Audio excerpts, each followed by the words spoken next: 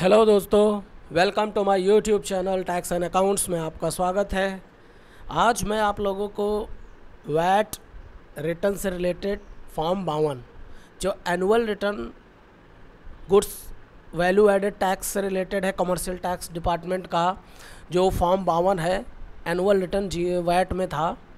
क्योंकि इस समय वैट के केसेस भी हो रहे हैं, और आप लोग सीख ही रहे हैं annual return G S T R nine nine A भरना। तब दोस्तों आपको करना ये है कि एनुअल रिटर्न फॉर्म बावन वैट का कैसे फ़ाइल करते हैं और उसे, उसमें क्या क्या डिटेल देना मैंडेटरी होता है, उसकी जानकारी मैं आप लोगों को दूँगा। तो वीडियो शुरू करते हैं। सबसे पहले आप कॉम टैक्स की साइट से जा करके फॉर्म बावन को एक्सेल फॉर्म में या वर्ड फॉर्म में डाउनलोड कर सकते हैं। और डाउनलोड करने के लिए आप सीधा है कि या तो आप गूगल पे जाके फॉर्म बावन वैट रिटर्न फॉर्म टाइप करेंगे और आपको फॉर्म मिल जाएगा। फॉर्म आपको कुछ इस तरीके का होगा। जी। इस तरीके का आपका फॉर्म कुछ होता है। ये आपका फॉर्म है।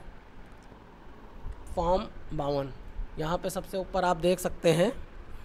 फॉर्म बावन। Department of commercial tax department of Uttar Pradesh see rule seven rule forty five of UP VAT rule 2008 annexure consolidated detail तो इस, ये आपका वैट फॉर्म 52 है, जो कि एनुअल रिटर्न था, जो केस फ़ाइल करते थे हम लोग वैट का, उसके लिए इसे भरा जाता था। जिसमें सबसे पहले आपको असेसमेंट ईयर देना है कि आपको किस साल का केस आप लोग बना रहे हैं। तो जैसे 16-17 का केस हम लोग बना रहे हैं तो यहाँ पे 16-17 दे देंगे। उसके बाद में असेसमेंट पीरियड एक चार सोलह से इकतीस तीन सत्रह हो जाएगा। थर्ड नंबर कॉलम आपका दिया हुआ है नेम एंड एड्रेस तो पार्टी का नाम और एड्रेस यहाँ आप फिल कर देंगे। चार number column name and address of the branch department अगर आपकी फर्म का कोई ब्रांच कोई अलग डिपो कोई अलग ब्रांच है, डिपो है तो उसकी डिटेल यहाँ पे दे देंगे।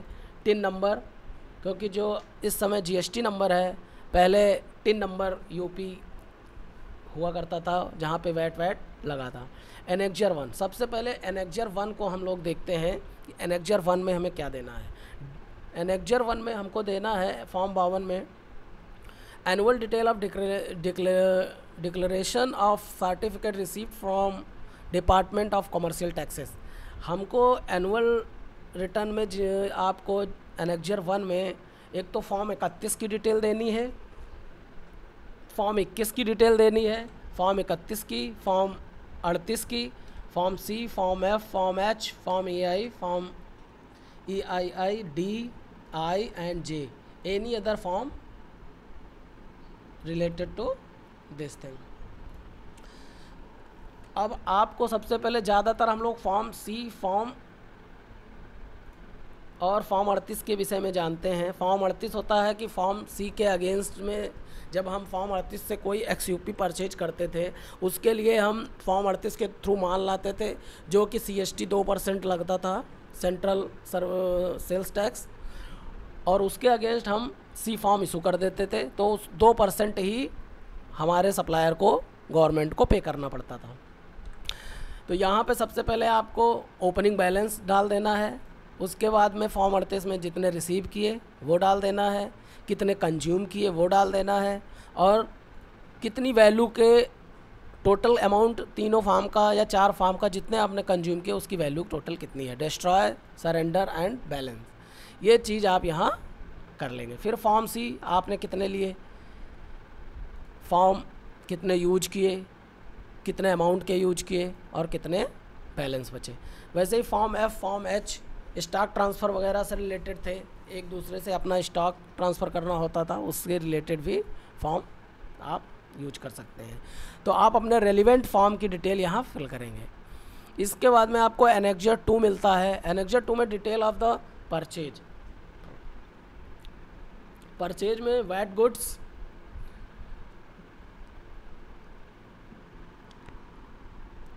सबसे पहले नंबर कॉलम में purchase in own account against tax invoice. तो आपने जो एनेक्जर ए पर किया था, जो कि आपका परचेज का एनेक्जर होता था, फॉर्म 24 जब हम फिल करते थे वैट का, उसमें आप, जो आपकी टैक्स इन्वाइस की परचेज है, उसकी टोटल यहाँ पे आप दिखा देंगे। टोटल आपकी जो परचेज है एनेक्जर ए से, चाहे आप पाँच बारह अठारह जो भी कंसोलिडेटेड आपको दिखाना है, पाँच साढ़े बारह जो भी है। फिर purchase in own account from other than dealer किसी अदर डीलर से आपने रजिस्टर्ड डीलर से अगर ख़रीदा है तो उसकी डिटेल दे देंगे। परचेज ऑफ़ एग्जेम्प्टेड गुड्स अगर कोई आपने एग्जेम्प्टेड गुड्स परचेज किया है वैट में तो उसकी डिटेल यहाँ पे दे देंगे एन टू में। Purchase of X U P X U P purchase किया है तो उसकी डिटेल दे देंगे। इस प्रकार आप अपनी परचेज की डिटेल को यहाँ सबमिट कर देंगे। उसके बाद में इनसे अलावा कोई रिलेटेड कोई अदर आपकी परचेज है तो उसकी डिटेल भी आप यहाँ दे सकते हैं। Less purchase return annexure A one अगर आपने कोई परचेज रिटर्न किया हुआ है, उसकी एंट्री यहाँ पे आप डाल देंगे तो आपका परचेज रिटर्न की एंट्री हो जाएगी और ये आपकी परचेज की फ़ील्ड कंप्लीट हो जाएगी।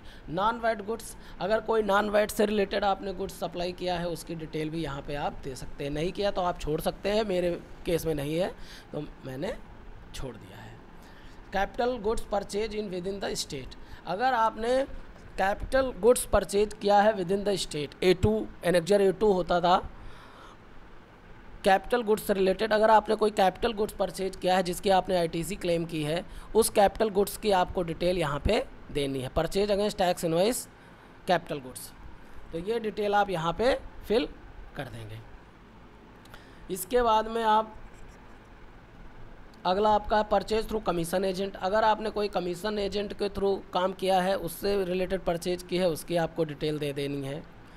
कमीशन एजेंट एक प्रकार से होता है कि हमने कमीशन पे कोई माल लिया, जैसे आढ़त वगैरह लोग चलाते हैं कि हमने कहा कि हम आपका माल सप्लाई कर देंगे अपने आढ़त से और हम आपसे पाँच परसेंट कमीशन लेंगे। तो कमीशन के थ्रू आपने जो माल परचेज किया है, उसकी डिटेल यहाँ पे देनी होती है। Purchase value goods receive from outside state against declaration of certificate अगर आपने कोई परचेज वैल्यू गुड्स किसी अदर स्टेट से की है, उसकी डिटेल आपको देनी है purchase against form C form H and form I से रिलेटेड अगर कोई परचेज की है, उसकी डिटेल यहाँ देनी है। Value of goods receive from outside state against form F अगर आपने फॉर्म एस एफ़ के रिलेटेड कोई परचेज किया है तो यहाँ पे आप उसकी एंट्री डाल देंगे। उसके बाद में annual detail of sale annexure three sale का होता है फॉर्म बावन में. वैट से रिलेटेड एनेक्जर में आपको सबसे पहले नंबर कॉलम में turnover of sale in own account against the tax invoice अगर आप, अब annexure B tax invoice sale के लिए होता था, जो अगर जितनी भी आपने कंसोलिडेटेड सेल की है, चाहे पाँच परसेंट की, चाहे बारह परसेंट की जैसे पाँच हो गया। तो इसमें क्या था कि वैट और सैट दो लगते थे। एक स्पेशल टैक्स होता एडिशनल और एक होता था वैट। तो वैट जैसे फोर परसेंट तो एक परसेंट सैट था। उसके बाद में साढ़े बारह परसेंट वैट का आइटम था। तो उसके, उसमें ढाई परसेंट का, दो परसेंट का सैट लगता था। दो से डेढ़ परसेंट धीरे धीरे और सैट लगाया गया था। जब सबसे पहले वैट आया था, तब तो सैट की कोई उसमें अवधारणा नहीं थी, ना सेट लगता था। तो आपको अपना कंसोलिडेटेड टैक्स इन्वाइस की सेल यहाँ दिखानी है। उसके बाद सेल इन्वाइस की जो सेल है आपको column number two turnover of sale in own account other than column number one turnover of exempted goods exempted goods की सेल जो की है उसकी डिटेल डाल देंगे। वैसे ही प्रिंसिपल सेल की डिटेल डाल देंगे और inter state sale against C form अगर सी फॉर्म से कोई सेल की है आपने, जिस प्रकार हम परचेज करते थे, अगर हमने सेल भी किया है कोई, किसी अदर स्टेट में तो उसकी डिटेल यहाँ पे आपको डाल देनी है। इस प्रकार आप अपनी सेल को अपने अकॉर्डिंग देखते हुए कंसाइनमेंट से रिलेटेड कोई है तो वो डाल देंगे आप। एच फॉर्म से रिलेटेड है, वो डाल देंगे। आई से रिलेटेड है, वो डाल देंगे। तो सारी सेल अपने रेलिवेंट फ़ील्ड को यहाँ देखते हुए आप सेल में डाल देंगे। मोस्टली इतने ही कॉलम आपके यूज़ होते हैं tax invoice sale sale invoice sale exempted goods ex sale और बहुत लोग एक्सपोर्ट का भी काम करते हैं तो एक्सपोर्ट वाला भी यहाँ पे देख सकते हैं। कॉलम नंबर सात में sale in course of export out of India with from with form of export अगर एक्सपोर्ट फॉर्म के साथ में आपने बेचा है तो यहाँ डाल देंगे। विदाउट ए फॉर्म के साथ बेचा है तो यहाँ पे डाल देंगे कॉलम नंबर सात और आठ में। इसके बाद में आपका ये सेल टोटल निकल के आ जाएगा। अगर कोई सेल रिटर्न आपने किया है नेक्जर वी के थ्रू तो यहाँ पे एंट्री कर देंगे, वो ऑटोमेटिक यहाँ से लेस कर देगा। जैसे मैं आपको बताता हूँ कि हमने नौ सौ बाईस रुपये का माल वापस किया तो ये देखिए ऑटोमेटिक यहाँ लेस कर देगा। तो यहाँ आप सेल रिटर्न की अपनी डिटेल डाल देते हैं। सेल रिटर्न डिटेल डालने के बाद में आप नॉन वेड गुड्स अगर नॉन वेड्स कोई गुड्स आपका है, वो भी डिटेल इसके अंदर आप फिल कर देंगे और नॉन वेट्स गुड्स से रिलेटेड आप एंट्री कर सकते हैं और अपनी सेल को एडजस्ट कर सकते हैं। उसके बाद सेल थ्रू कमीशन एजेंट, अगर कमीशन एजेंट के थ्रू आपने सेल किया है तो उसकी डिटेल डाल दिए अब एनेक्जर फोर में consolidated competition of tax on purchase अब यहाँ पे आपको परचेज पे आपको टैक्स बताना है कि आपने जो परचेज पे टैक्स दिया है वो टैक्स कितना है? क्योंकि आईटीसी मिलती थी वैट में भी, जैसे हमें जीएसटी में आईटीसी मिलती है, वैसे ही वैट में भी हमको आईटीसी इनपुट क्रेडिट मिलता था। तो हमारे केस में केवल फोर परसेंट का आइटम हमने परचेज किया है, वो फोर परसेंट का आइटम हम यहाँ पे ले लेंगे। और उसका फोर परसेंट का यहाँ टैक्स कैलकुलेट कर देंगे। फोर परसेंट से टैक्स कैलकुलेट कर देंगे, ये आ जाएगा। अब इसमें क्या है कि साइट कितने पे लगता था? अगर सैट की फिगर जितनी है, जित, एक परसेंट सैट था चार परसेंट वाले में तो एक परसेंट का हमारा इसमें उनचास लाख चौदह हज़ार में एक परसेंट का केवल बीस लाख छब्बीस हज़ार पाँच सौ तीन रुपये का था जिसपे सैट लगा था। तो ये इसकी फिगर यहाँ पे डाल देंगे। तो हमारे ये आई टी सी यहाँ पर निकल के आ जाएगी। अगर आपका साढ़े बारह का है तो इसमें आप साढ़े बारह का आइटम भी डाल सकते हैं। इस प्रकार आप देखेंगे कि आपकी सेल का ब्रेकअप परसेंटेज वाइज हो जाएगा। साढ़े बारह में आपको डेढ़ और दो परसेंट का मिलता था, लेकिन सोलह सत्रह के केस में दो ही परसेंट रहेगा। अगर पंद्रह सोलह होगा तो सितंबर तक आपको डेढ़ परसेंट देना है, अक्टूबर से दो परसेंट हो गया था पंद्रह सोलह के केस में, वैट में। इसके बाद में आपको सीधे आ जाना है consolidated competition of tax on sale अब सेल पे आपको टैक्स बताना है। सेल भी मैंने चार का ख़रीदा तो चार ही का बेचा था हमने। इसलिए हमने यहाँ पे चार परसेंट की सेल दिखा दी और उसका टैक्स निकाल दिया।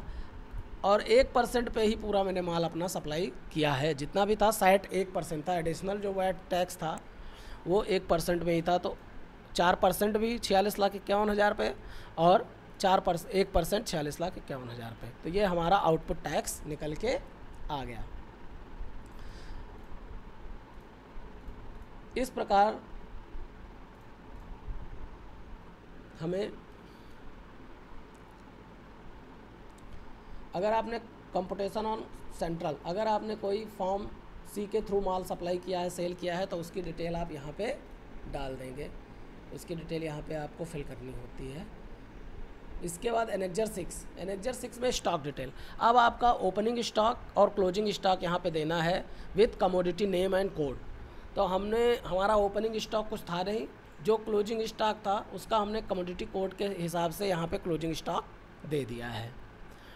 इसके बाद annexure seven consolidated detail of ITC ये देखिए कंसोलिडेटेड आईटीसी अब यहाँ पे हमको ये बताना है सबसे पहला column I T C brought forward from the previous financial year अगर आपका प्रीवियस फाइनेंशियल ईयर में कोई आई टी सी था, उसकी डिटेल आपको यहाँ पे दे देनी है। उसके बाद आपको I T C earn C earn during the assessment year अब आई टी सी जब आपको अर्न करनी है असेसमेंट ईयर में तो इसकी डिटेल आपको देनी है।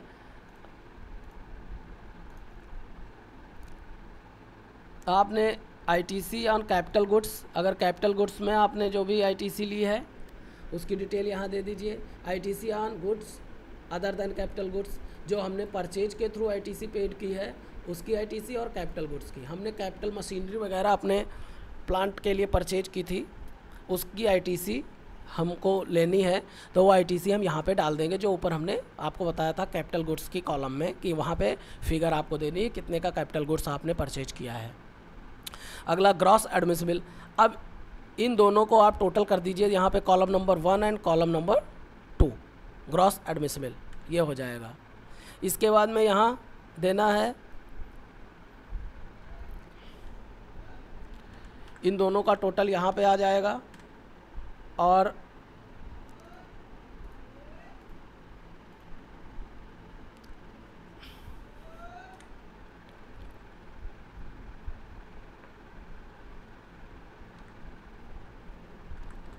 ये हमारी टोटल आई टी सी यहाँ पर देखिए, एक और दो का टोटल यहाँ पे आ गया है। इसके बाद में आप लोगों को टोटल आई टी सी आने के बाद में यहाँ पे बताना है कि आपने कोई U P VAT I T C adjusted against act payable under U P VAT act for the current year ऐसी कोई आई टी सी आपने एडजस्ट की है against tax payable current year उसकी डिटेल यहाँ पे आपको देनी है। यू पी टी टी के अगेंस्ट आपने कोई एडजस्ट किया है, उसकी डिटेल आपको यहाँ पे देनी है।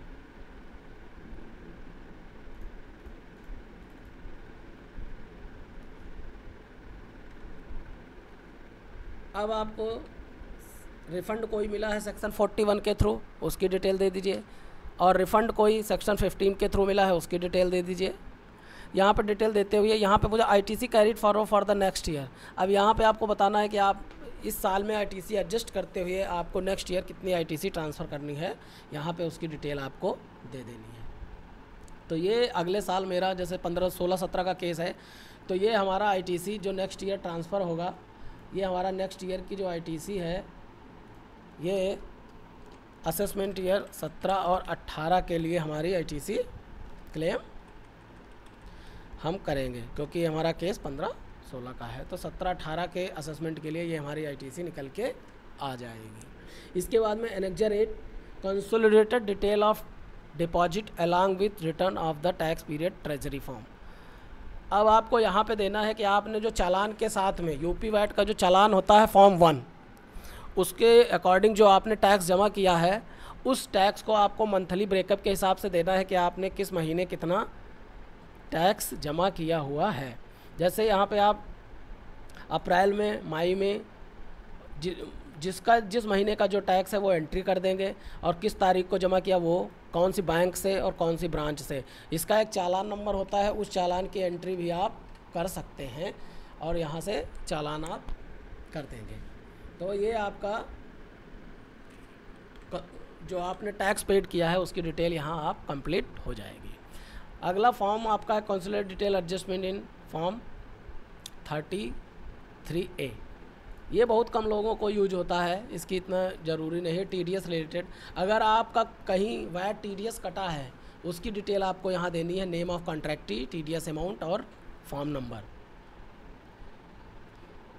carried consolidated carried forward detail अब आपका जो tax next year carry forward हो रहा है उसकी डिटेल यहाँ पे आ जाएगी और इतना टैक्स हमारा कंसोलिडेटेड अगले साल 16-17 में हमको मिलेगा। सिंपली यहाँ पे डिक्लेरेशन कर देना है। ब्रजेश कुमार, जो आपके ओनर हैं ओनर नाम कंपनी है तो प्रोपराइटर या डायरेक्टर कहाँ से आप फ़ाइल कर रहे हैं? उसकी डिटेल पूरे देने के बाद, अब आपका ये फॉर्म 52 कंप्लीट हो गया। इसमें बस एक छोटी सी एनेक्जर ए और अटैच करनी है, जो कि फॉर्म अड़तीस फॉर्म डी ई एफ़ से रिलेटेड है। अगर वो आपने कोई यूज़ किए हैं, उसकी डिटेल यहाँ पे दे देनी है। पार्टी का नाम फॉर्म अड़तीस बिल नंबर कमोडिटी नेम और अमाउंट यहाँ पे फॉर्म अड़तीस की डिटेल दे देंगे। Form B C F and H and I की डिटेल यहाँ पे दे देंगे। इस प्रकार आप सारी चीज़ कंप्लीट करते हुए आप देखेंगे कि आपका फॉर्म बावन यहाँ से ये कंप्लीट हो चुका है। यहाँ से सेव कर देंगे। इसके साथ में कुछ सपोर्टिंग पेपर लगते हैं। उन सपोर्टिंग पेपर्स के बारे में मैं आप लोगों को बता देता हूँ। वो सपोर्टिंग पेपर चार सपोर्टिंग पेपर लगेंगे इसके साथ में। एक तो आपको सेल का डिटेल मेंटेन करना है। सेल रजिस्टर आपको देना है। दूसरा आपको परचेज रजिस्टर देना है। तीसरा ex U P purchase register देना है। चौथा वाइट डिपॉजिट चालान की डिटेल देनी है। ट्रेडिंग अकाउंट बना के देना है कि आपका जो ट्रेडिंग अकाउंट है, वो बना के देना है। फॉर्म बावन फिल करके देना है और फॉर्म तेईस। और फॉर्म तेईस बना के देना है जो जी, जिस प्रकार जीएसटी ऑडिट में नाइन सी है, उसी प्रकार वाइट वाइट ऑडिट में फॉर्म तेईस था, जो वाइट ऑडिट चार्टर्ड अकाउंटेंट से कराना होता था। तो आशा करता हूँ ये वीडियो आपको पसंद आया होगा, क्योंकि इस समय वैट के केसेस बहुत हो रहे हैं। तो आप लोग इस प्रकार फॉर्म बावन को अपना तैयार कर सकते हैं, अपनी डिटेल मेंटेन कर सकते हैं और अपना केस फ़ाइल कर सकते हैं। Thank you for the watching video